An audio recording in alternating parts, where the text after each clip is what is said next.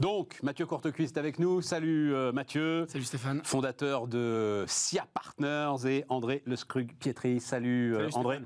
Le président de JEDI, Joint European Disruptive Initiative. Euh, alors, je mets IA en jeu pour les entreprises. Évidemment, Mathieu, ce qui m'a intéressé, j'ai envie qu'on démarre avec ça parce qu'il se trouve que, mais c'est pas par hasard, tu as donné une interview aux échos temps, c'était pour la fin de ton mandat en fait Hein, à la tête du Syntec Conseil. C'était un peu ça le, truc. Donc l'association professionnelle de l'ensemble des entreprises de, de conseil euh, en transformation, management, etc. Euh, et, c'est parfaitement concomitant avec les discussions que j'ai maintenant, je le disais en sommaire, non pas avec les, gros, je pense que Patrick Pouyanné, il a tout ce qu'il faut pour euh, le renseigner, quoique, j'en sais rien. Enfin, jamais assez. enfin, je pense que... mais, mais les entreprises taille intermédiaire, où et, ils reviennent vers moi, je leur dis non, franchement, les gars, là, euh, moi-même, euh, j'écoute. Euh, par quel bout je prends ce truc, intelligence artificielle? C'est vraiment la question que j'ai envie de te poser comme ça. Par quel bout je, je prends ce truc? Je suis. Est-ce que je... Non, allez, je vais garder. Je suis à la tête d'une boîte qui travaille dans l'aéronautique, un peu en pointe, qui fait 50 millions d'euros de chiffre d'affaires. J'ai des clients un petit peu partout dans le monde. Je sens que ce truc est là. Euh, mes équipes d'ingénieurs n'ont pas le temps, de toute façon, ils sont sous l'eau, euh, occupés par la production. Et par quel bout, moi, dirigeant, je dois prendre ce truc? Bah, D'abord, il n'y a pas une IA, il y a une multiplicité d'IA, donc en fait, ça rend le, problème aussi encore plus complexe. Encore, plus complexe. Là, c'est l'IA générative. C'est ça, tu l'appelles l'IA générative, hein, GPT et tout ça. même, qui leur saute à la figure là. donc, même, euh, l'IA générative, c'est des IA différentes, euh, et euh, donc c'est une complexité technologique qui est réelle. Donc ça, c'est le premier élément. Le deuxième élément, c'est que c'est pas forcément le grand soir. C'est-à-dire que ce qui a été cru il y a quelques années, ce qu'on appelait le AI at scale, c'est-à-dire vraiment, je vais te transformer ton business model du jour au lendemain sur l'ensemble de tes fonctions euh, euh, comme ça avec un énorme point de bascule. En réalité, euh, c'est beaucoup de, cas d'usage, une multiplicité de cas d'usage qui sont presque des baby steps en fait. Et il s'avère que de temps en temps, il y en a un qui est un peu plus gros que les autres. Donc il faut se mettre dans une logique d'expérimentation avec une multiplicité de, de, cas d'usage. Donc bâtir une usine à cas d'usage pour aller regarder comment ça fonctionne. Et puis après, il y a quand même une condition pour y arriver. c'est à la fois trouver des talents parce qu'il y a quand même une, rareté euh, des data scientists euh, malgré tout. Donc c'est assez difficilement accessible pour, pour des ETI de façon assez honnête. Et d'ailleurs, si tu reprends mon interview, j'ai évoqué, ça fait pas mal réagir, le fait que la plupart des cabinets de conseil avaient plus de, spécialistes de l'IA que n'importe quel groupe du CAC 40. Donc euh, par rapport à ton point qui consiste à dire que les grands groupes sont parfaitement équipés, c'est pas vraiment le cas. C'est pas vraiment le cas. En France en tout cas. donc parce que en fait, ça, ça veut dire qu'il faut avoir une stratégie de recrutement qui est installée depuis 5-10 ans parce que c'est quelque chose qui existe depuis assez longtemps. Et en réalité, aujourd'hui, euh, euh, moi, ce qui me frappe, c'est par exemple dans le secteur du conseil, euh, l'IA à proprement parler représente 4% du chiffre d'affaires. alors, ça paraît pas forcément énorme, non. mais ça veut dire qu'il y a plusieurs cabinets qui ont plusieurs centaines de, spécialistes de l'IA, et, et ça a doublé en un an. Et, donc, en fait, il y a une accélération. Je ne parle même pas du, chiffre d'affaires qui est lié à la data. La, data, c'est 20% maintenant des chiffres d'affaires des cabinets de conseil. 20%. Donc, c'est énorme. Euh, et je ne parle pas des boîtes du numérique, hein, je parle vraiment des cabinets de conseil. Donc, l'IA est un sous-compartiment de ça. Et la problématique, euh, pour la plupart des entreprises, bah, c'est d'avoir bâti quand même les, lacs de données, enfin, les, ce qu'on appelle les data lakes. Euh, et, parfois, elles ont été un peu désinvoltes dans la capacité à les, à les construire. Totalement. Et ça, elles en sont conscientes. Elles sont conscientes que elles savent pas vraiment quelle est la qualité, on va dire, de l'eau de leur data lake. Et il y a une certaine fatigue aussi, c'est-à-dire que notamment en fin d'année dernière, il y avait un certain nombre de dirigeants qui pointaient, il y a une étude faite par un de mes concurrents euh, fameux, euh, qui disait qu'il y avait une fatigue en fait autour de l'IA en voyant pas forcément euh, la rentabilité des investissements.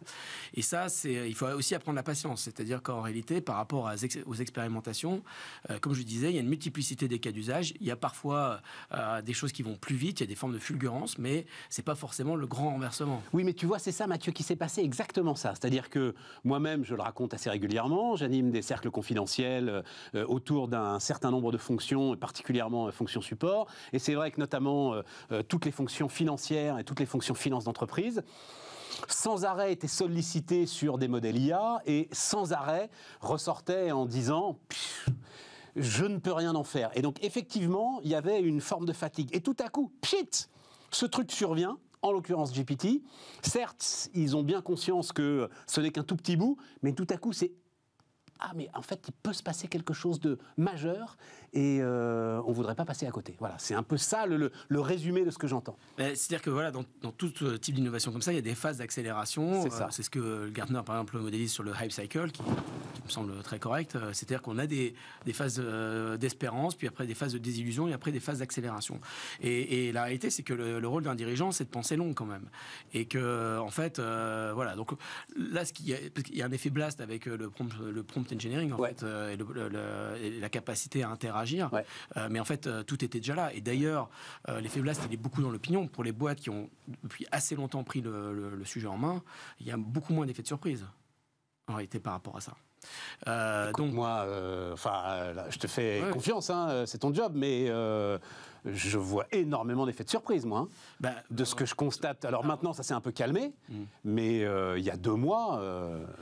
Non, parce qu'il n'y a, pas eu, a pas eu vraiment de, de point de rupture technique en fait, c'est juste un, point de rupture dans euh, l'adoption en fait. Dans l'adoption. Et, euh, mais secteur que je connais un tout petit peu, secteur de la pub. Mais les gars, quand même, ça leur est tombé dessus. Je t'assure, même si euh, on te dit oui, oui, bien sûr, on prépare et tout. À un moment, c'est le fait que n'importe quel agent de création, on va dire ça comme ça, agent de production, puisse l'utiliser avec des effets qui sont des effets vertigineux c'est un effet blast hein, et un effet de surprise. Mais c'est un voilà, la, problématique, c'était de réussir à, convaincre un certain nombre de décideurs de, de, passer à l'acte. Et, et euh, c'était pas forcément un sujet de maturation technique. Euh, D'accord. Une, boîte, une, boîte. C'était un effet de, maturation d'usage. Je, vais prendre un, autre exemple. Euh, typiquement, il y a une boîte qui a été fondée par des Français qui s'appelle Hugging Face. Je sais pas si vous connaissez. Je connais pas. bah, ça va être un des grands LLM qui va gagner probablement dans la course qui est en cours. Donc LLM, hein, large, Large Language Model. Voilà, ils ont levé 160 euh, millions de dollars jusqu'à présent, donc c'est fondé par des Français. Alors ils sont ils sont tous à New York. Ils sont presque tous à New York, sauf un qui est à, Paris. Euh, mais ils ont levé euh, l'année dernière sur une valo à 2 milliards. C'est-à-dire qu'en fait, dans les, licornes françaises, c'était probablement la plus valorisée, dont les médias français n'ont jamais parlé. Et, et, aujourd'hui, ils sont en train de réaliser des, des, énormes partenariats avec un un, des grands opérateurs du cloud qui a un peu raté la marche euh, générative AI. Et, euh, et en effet, euh, ça, va, ça, ça, va faire mal. Mais c'était déjà là, en fait. Oui, oui, je comprends. Déjà là. Je comprends, je comprends. Je comprends. Ah. Vas-y, vas-y, André. Je, je suis d'accord. On a le temps, hein, on est Je suis d'accord avec ce qu'il a dit. Il y a eu, il y a eu quand même un effet. Hein. C'est que, alors pour parler un petit peu technique, il y avait, il y a le sujet des, de ces large language models qui en fait changent la manière dont on entraîne les, les, les, euh, les données sur, sur l'IA. Avant, on utilisait beaucoup ce qu'on appelait les, réseaux neuronaux et qui étaient en fait, qui travaillaient sur des séquences pour essayer d'être ultra simplificateur, qui travaillaient sur des petites séquences. L'avantage de ces grands modèles de langage, c'est, en français, euh, c'est qu'en fait, ils peuvent travailler sur des, sur des phrases entières, par exemple.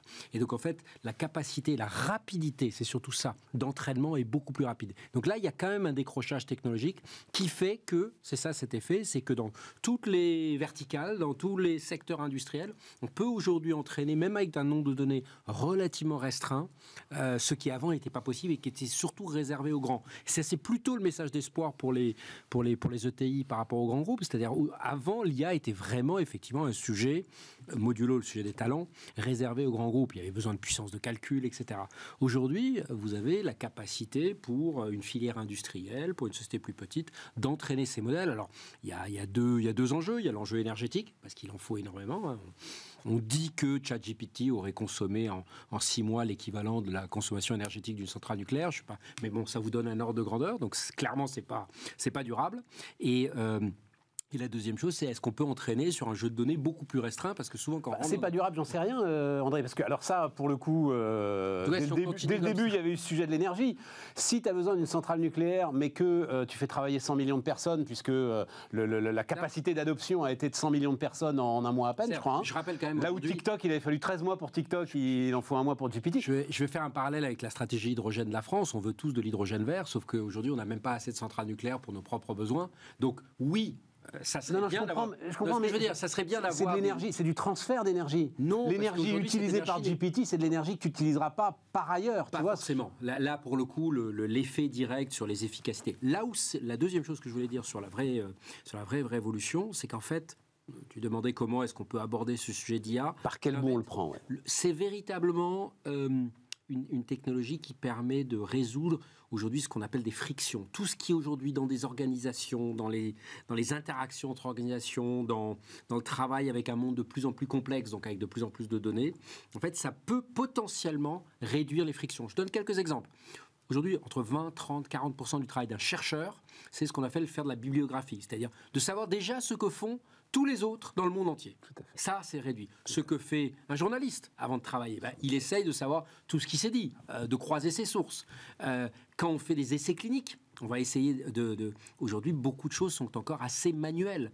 Toutes ces choses-là, potentiellement, et c'est plutôt le message d'espoir, sans être technosolutionniste, les frictions, c'est quand même aujourd'hui ce qui rend les travaux souvent plus fastidieux. Non, mais je comprends tout à fait. Et on va plutôt, mais ça veut dire qu'il faut de la formation qui va avec, c'est-à-dire qu'il faut investir sur le long terme, on revient au sujet d'éducation, pour que justement... On va y aller sur les on va y aller sur la formation, les emplois, tu as un, mot là-dessus euh, Non mais euh, je suis assez euh, d'accord évidemment avec ce que dit André, c'est juste que par rapport à... Tu parlais, juste pour être concret, tu parlais dans l'interview d'expérimentation dans le secteur de... Enfin d'expérimentation, plus que ça, de ce que SIA Partners avait fait dans le secteur de l'énergie. Mm-hmm. Euh, oui, alors, alors juste, je finis sur le. vas-y, vas-y. Non, mais par rapport à la, dépense énergétique euh, liée à l'IA, de toute façon, il y, a, des technologies, enfin des techniques euh, qui vont venir pour contrer ça, c'est-à-dire ce qu'on appelle l'IA frugale, et qui va venir développer les algorithmes qui seront beaucoup plus perfectionnés en même temps qu'utiliseront moins de données. Donc, donc il y aura des réponses dans, la, dans, le moyen terme qui vont se construire au fur et à mesure que les usages vont se développer. Donc moi, je suis assez confiant sur la capacité à, à développer le panel en fait de techniques qui vont permettre de traiter de ça. Après, ça n'empêchera pas qu'il y aura il y a évidemment des usages qui sont hyper utiles et hyper avec un retour sur investissement extrêmement important. Après, le gamin qui veut passer ses, euh, examens, euh, qui avant n'utilisait pas ChatGPT, maintenant qu'il l'utilise, il aura à la fin le, même rendu sur son euh, examen obtenu et il y aura une consommation énergétique qui sera probablement supérieure. mais il ira beaucoup plus vite. Oui, oui j'ai raconté, j'ai raconté dix fois cet exemple qui que je, trouve formidable. Euh, classe moyenne, qu'est-ce que les classes moyennes? Combien de salariés en France, selon l'INSEE, peuvent être considérés comme une classe moyenne? Donc entre 0,8 et euh, euh, deux fois le salaire médian. il te faut 3-4 heures dans les bases de données de l'INSEE pour aller le chercher?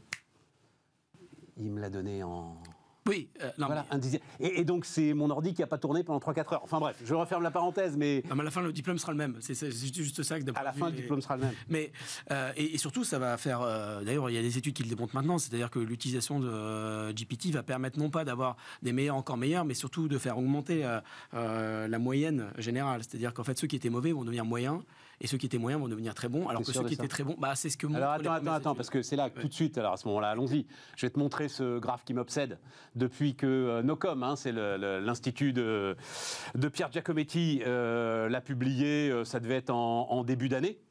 Donc euh, on va voir ça normalement. C'est euh, la façon dont les Français regardent le travail et regardent l'évolution de leur travail. Et euh, ben, eux sont absolument pas dans l'idée qu'il va falloir appréhender les nouvelles technologies. Voilà. Donc vous voyez, hein, ah, en jaune c'est ceux qui veulent se protéger et en bleu c'est ceux qui veulent que l'État les aide, puisque c'était ça la question, à avancer vers les nouvelles technologies et à pouvoir travailler dans les nouvelles technologies. Ah, c'est 2017-2022. Hein, référence à des, à des panels d'étudiants qui aujourd'hui ont été testés au MIT et, on a regardé en fait leur note moyenne quand ils utilisaient versus qui, quand ils n'utilisaient pas. C'est-à-dire que les très bons. Mais c'est les étudiants du MIT. Euh, oui, enfin, non, on là, il a, il a euh, Mathieu. Non, mais enfin bon, ça, ce truc-là. Mais ça, c'est un autre sujet. mais non, c'est pas un autre sujet. Je pense que ça, on peut véritablement le relier au récit. Aujourd'hui, on a un sujet de récit. Je passais dans un kiosque juste avant de, de rentrer et on voit même des revues scientifiques où vous avez en bandeau euh, euh, les risques de l'IA. C'est-à-dire que quand forcément vous endoctrinez, moi je pense, je, relis ça au, concept malheureusement gouvernemental de protéger les Français. Bah, plus on met les gens dans cet état d'esprit. André, André, ça, je pense. Donc, pardon à ceux qui, nous écoutent euh, à la radio, hein, je ne peux pas vous le décrire le truc, c'est spectaculaire. Ça démarre, encore une fois, je le dis, ça démarre en 2017, ça finit en 2022. Tu peux pas avoir, enfin pardon, tu peux pas avoir de meilleur récit sur le monde moderne, on va dire ça comme ça, que celui d'Emmanuel Macron pendant son premier mandat. C'est pour ça qu'il serait intéressant de savoir ce qui s'est passé entre 2015 et 2017. Il a été probablement élu, et je fais le pari, alors très risqué parce que je... Il est élu, on est à 50-50, après il démarre son deuxième mandat, euh, il y a, il y a 71% des gens qui ne veulent pas entendre parler des nouvelles technologies dans leur Depuis 2018, on entend parler de il faut protéger les Français, il faut protéger les Français, il faut protéger les Français, et je ne suis pas convaincu que ce soit un récit très positif et sur lequel on emmène une, une société vers, vers l'avenir. Ouais, euh, je, pense que c'est un peu déconnecté aussi des, travaux qu'on voit dans les entreprises sur les programmes de formation, d'upskilling, etc., mmh. qui, fonctionnent quand même euh, plutôt bien. Ouais. c'est pour ça que je voulais te poser la question. C'est toujours un peu le même sujet. Euh, j'ai peur pour les autres, mais pour moi-même, je suis relativement confiant. Enfin, c'est-à-dire qu'en fait, il y a toujours cette déconnexion qui, qui, qui, à mon avis, existe. Après, pour revenir sur l'IA et, sur l'énergie, etc., enfin, l'IA, c'est une série de techniques formidablement transverses. Et c'est par cette nature transverse que euh, c'est un formidable accélérateur également. Donc euh, on peut l'appliquer dans l'énergie, on peut l'appliquer dans la pharma, etc. Donc évidemment, moi je dis les choses très concrètement, il n'y aurait pas de déploiement à l'échelle euh, des énergies renouvelables sans IA en fait, parce qu'en fait les énergies renouvelables elles sont intermittentes, ce qui produit de l'aléa. L'aléa ça veut dire qu'il faut beaucoup de méthodologies de, forecasting et énormément d'algorithmes pour pouvoir piloter en temps réel cette capacité-là. Mais c'est vrai que derrière ça veut dire manipuler des bases de données absolument absolument euh, considérable. Euh, faire du, de la même façon, si on veut aider euh, à la baisse de consommation dans les foyers, bah, ça veut dire qu'il faut pouvoir faire du pilotage, ça veut dire qu'il faut pouvoir associer les gens à ce pilotage, et ça, ça nécessite une numérisation absolue avec de, l'IA partout. Et ça, pour le coup, la France est relativement bien positionnée. Linky, il est IA compatible. Bah, Linky, enfin, en tout cas, il ramène de la data. Exactement. Et, après, c'est une décision politique de l'utiliser davantage. Euh, on, l'a vu au début de la crise énergétique, il y a eu quelques frictions autour du sujet, mais on a la meilleure infrastructure du monde probablement euh, en la matière. Donc, euh, donc voilà, donc ça c'est un exemple pour, pour le secteur de, l'énergie. Et mais on pourrait le multiplier sur le secteur de plein d'autres secteurs. André évoquait la pharma. moi, je suis frappé de ce qu'on est en train de faire sur les essais cliniques. C'est-à-dire que la, la, capacité à mélanger l'IA avec les essais cliniques, c'est quelque chose qui a qui est un formidable accélérateur. On vit en ce moment une révolution vaccinale, euh, alors qu'en France, on ne la voit pas trop parce que déjà, l'autorité française du médicament euh, ne valide, n'autorise pas 40% des molécules euh, agréées au niveau de la Commission européenne euh, en France. J'ai lu ça effectivement récemment, ça m'a, je, suis sidéré. On est à nouveau dans la euh, surréglementation. Sidéré. Mm. Mais alors, la en plus là, on est sur la surréglementation à tous les étages, sur les essais cliniques, sur le prix d'accès aux médicaments, euh, sur les sites industriels. On a la réglementation. Enfin, c'est ce qu'on peut faire de pire en matière de réglementation parce qu'on tape sur tous les éléments de la chaîne de valeur. Et après, on s'étonne quand on a des pénuries. un sénateur qui était rapporteur du projet de, qu'on appelle ça, des principes de précaution, qui aujourd'hui le regrette amèrement, mais bon, voilà, on est en train de le... le, Mais peut-être pour, pour renforcer le point qui a été dit sur l'énergie, on, a trois grandes révolutions. On a le sujet de la biologie, de la santé, de l'énergie et on va dire du computing vraiment de tout ce qui est euh, processing, data, etc. Et en fait, on se rend compte qu'il y a quelques technologies qui sont comme ça transverses, on appellerait ça des, en bon franglais des, technologies fondationnelles, et qui créent vraiment une fondation, qui créent des transversalités, qui sont justement autour de euh, l'IA, autour des capteurs, de, la mesure en fait en permanence, en fait de l'interaction. Quasiment les sens, les sens humains que nous on connaît, sont en train aujourd'hui d'intégrer, et l'IA peut donner un sens à ces, capteurs multiples. On va peut-être parler du, nouveau casque d'Apple, mais ça va dans le même sens. C'est-à-dire ça va permettre de faire cette interaction en machine de manière très intéressante. Il y a quelques jours à peine, dans une conférence militaire américaine, puisque c'est toujours les militaires aux États-Unis qui sont très en avance sur les aspects technologiques, ils parlaient de ce qu'on appelait le quatrième offset. Offset, c'est l'obsession des États-Unis d'avoir toujours un coup d'avance. Le premier offset, c'était le nucléaire. Le deuxième offset, dans les années 70, c'était la furtivité. Le troisième, depuis une dizaine d'années, c'est l'IA. Ça, ça, date de 2014. Hein.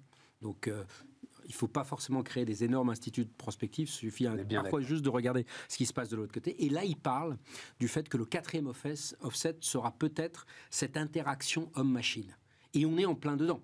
Parce que l'interaction homme-machine ne sera possible, vu la quantité de données dans laquelle on est, que si on a des IA qui permettent un peu de donner de l'intelligence par rapport à des... On en parlait dans une précédente émission, on est dans, une, dans un monde aujourd'hui où on a dépassé nos capacités cognitives. Il y a 10, 15 ans, on arrivait encore à comprendre tout ce qui se passait. Aujourd'hui, tout se passe tellement vite et avec tellement d'ampleur et les choses sont toutes interconnectées. La guerre en Ukraine est un très bon exemple. Il y a de la guerre, il y a de la technologie, il y a de la géopolitique, euh, il y a de l'agroalimentaire, enfin, et c'est ultra compliqué de. Taïwan va être la même, la même affaire. L'espace va être la même affaire. Comment s'appelle? Neuralink s'appelle le. Neuralink, c'est là l'une des, l'une des, entreprises de, d'Elon Musk qui... Euh, qui vient d'avoir d'ailleurs l'autorisation de la FDA pour faire des essais. l'autorisation de la FDA pour faire des essais humains, parce qu'ils ont déjà fait des essais sur les animaux, et là pour faire des essais humains. Donc l'idée c'est ça, l'idée c'est d'implanter une petite puce qui fera cette connexion en fait, euh, machine, c'est le, c'est le truc, ou qui... Euh, non, qui J'ai du mal à voir ce qu'il veut faire avec ce capteur. Malheureusement, un capteur. C'est pour ça qu'il y a eu tellement d'hésitation de la FDA, parce qu'il y a une implantation, pardon, pour à, tous ceux qui nous écoutent, il y a vraiment une implantation à travers la boîte crânienne et directement en relation euh, avec, euh, avec les, neurones. C'est un capteur de ce que dit mon cerveau. Non, c'est plus qu'un capteur. C'est vraiment, on peut agir. C'est un effecteur à l'intérieur du cerveau. C'est un capteur instrumenteur, si tu veux.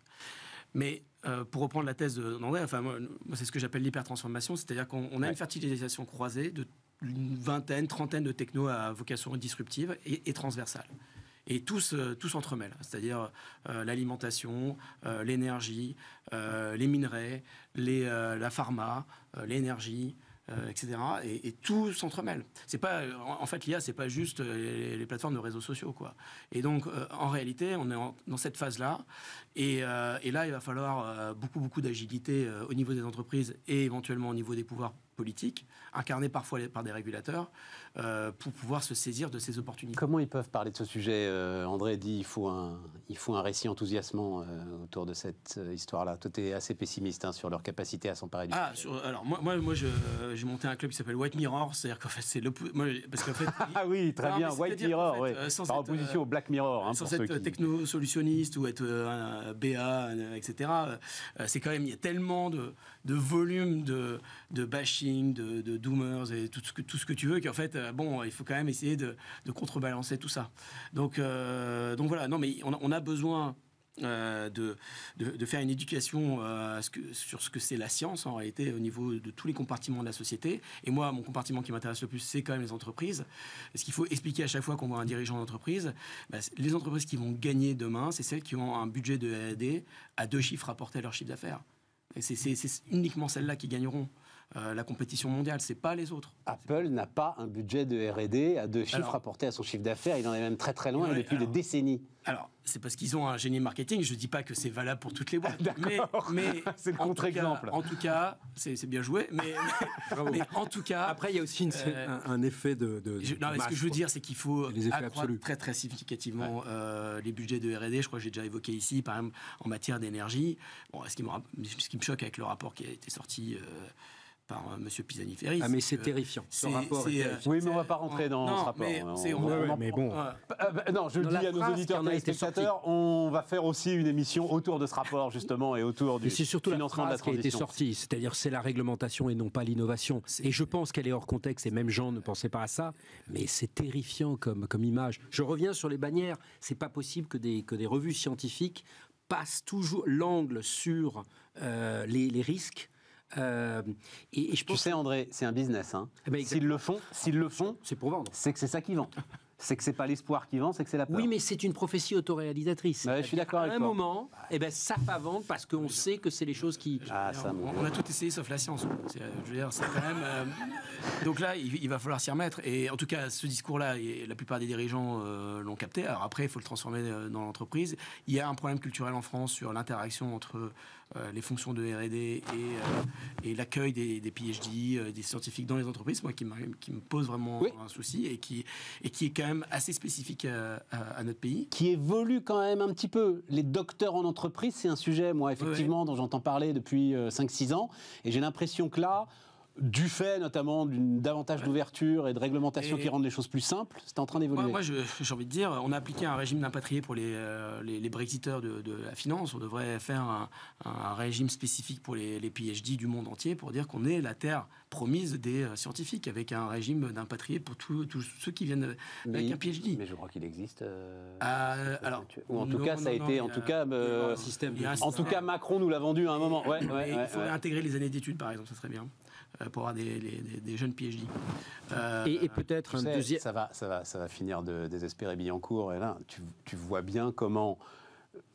Parce que ça se joue à tous les niveaux et comment l'idée effectivement euh, d'une sorte de visa, travail, métier en tension, euh, etc., est complètement balayé, d'un revers de main par l'ensemble de nos peurs en ce qui concerne l'immigration. Ça, ouais, alors les nombre de PhD, euh, je veux dire, bon, ça va pas. non, mais tu vois bien ce que je veux dire. voilà, je suis pas sûr, enfin, je suis pas sûr que ça change les grands équilibres en tout cas, mais, mais en tout cas, il y a un appel à la science à faire de façon générale. Et, et, euh, parce que là, on est en train de voir les effets concrets. Et j'ai cité la révolution vaccinale, on est en train de passer à côté. Et euh, bon, alors après, euh, ces technologies, elles n'ont pas de frontières. On évoquait tout à l'heure la, nouvelle grammaire de la mondialisation. Quand un vaccin aura été fait ailleurs et de, de, bout en bout et qui sera déployé chez nous, parce qu'à un moment donné, nous aussi, on voudra vivre dans un monde sans infarctus. Bon, bah, on sera, on sera pour le. Heureusement qu'on a encore les moyens de le payer, qu'on fait les contrats que la Commission européenne avait pas passé à prix d'or lors de la mais c'est pas comme ça qu'on va, qu'on va y arriver. Je reviens quand même sur ce sujet du, Rapide. du, du, récit. Rapide, faut qu'on marque une pause. il y a quand même un rôle à jouer pour la société civile. C'est-à-dire, on peut pas tout. D'abord, numéro un, c'est un message positif pour l'État parce que le régulateur va devoir devenir de plus en plus expérimentateur, stratège. C'est ce que fait la FDA sur les médicaments. C'est ce que font euh, aujourd'hui beaucoup les États-Unis sur des, différentes technologies euh, euh, d'IA on l'attend encore ici, on est beaucoup plus dans la protection, on revient sur l'aspect. Et deuxième chose, il faut que la société civile, les philanthropes, les fondations euh, se disent, on est effectivement dans un siècle scientifique, on peut critiquer l'État, certes, il n'est peut-être pas assez agile, il est désargenté, qu'est-ce qu'on fait nous? Et là, on voit un, différentiel de 1 à 10 et de 1 à 100. Et pardon, les plus grandes fortunes, elles ne sont pas aux États-Unis, elles sont chez nous. Donc c'est à elles d'entraîner tout le reste de la société. Là, il y a vraiment un appel à la société civile à. Comment ça, les plus grandes fortunes, elles ne sont pas aux États-Unis, elles sont chez nous? D'abord, l'homme le plus riche du monde n'est pas aux États-Unis, il est chez nous. Ouais. La vraie question, c'est que font les grandes fortunes européennes pour bâtir une société scientifique de demain? Quand vous avez John Doerr, un des grands investisseurs dans Sequoia, ah, qui considère qu'on ne fait pas assez euh, à Stanford sur le développement durable, il, il a une fortune de 10 milliards, il en met un. Il ne met pas un millième ou un millionième. Il met 10% de sa fortune dans un institut spécifique. Et en plus, Stanford n'en a pas vraiment besoin. Voilà, c'est ça qu'il faut faire. Et il faut pas. Quand Bernard Arnault eh ben veut monter une chaire à ah ben Polytechnique, on le fout dehors. Oui, d'accord, mais ça, il Je veux pas, le défendre, hein, mais en l'occurrence là, boum. bon, alors après, il aurait les moyens de monter son propre Polytechnique. Mais voilà, c'est quand même ça le sujet. Mais il faut pas non plus que 400 personnes, parce qu'elles sont très motivées et très engagées, euh, bloquent toute une société. Là, il y a un vrai projet de société. Le leadership politique doit être là et s'engager. On marque une pause.